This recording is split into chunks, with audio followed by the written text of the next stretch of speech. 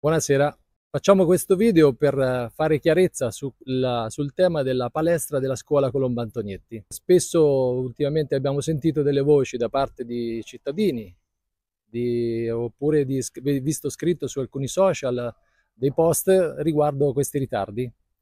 Hanno, molti hanno fatto illazioni su vari temi, la verità è solo una. La verità è che questo progetto è stato modificato rispetto al vecchio progetto della precedente amministrazione per renderla adatta allo svolgimento di alcune partite di pallavolo.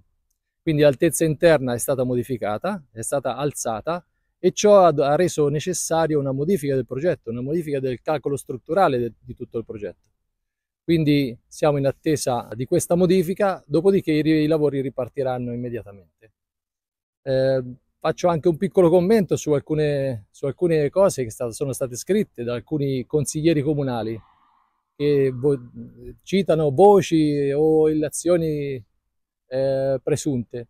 Eh, io ricordo che sono consiglieri comunali, quindi hanno accesso a tutti gli atti presenti in comune e possono verificare che quanto ho detto e quanto sto dicendo è vero e quindi, ripeto, vorrei tranquillizzare loro, ma soprattutto tutti i cittadini, tutti gli alunni e i professori della scuola media che sono coinvolti in questo lavoro.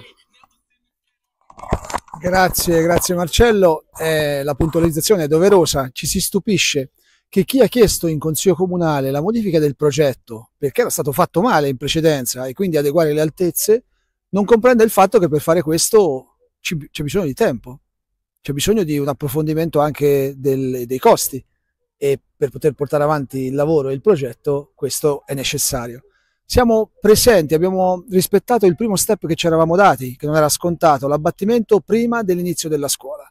E l'abbiamo fatto, abbiamo iniziato i lavori, stiamo adeguando il progetto, lo stiamo portando ad un progetto sostenibile sotto il profilo economico e anche di utilizzo e mi sembra molto strano che alcuni ex amministratori, addirittura attivi fino a qualche mese fa, e alcuni dell'opposizione, ma assessori in, in precedenza, non conoscano le dinamiche di questi progetti, di questi passaggi.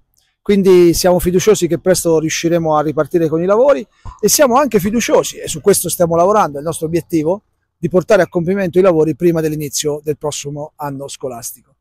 Grazie, grazie Marcello, grazie, grazie per l'impegno tuo e di tutta la Giunta, grazie.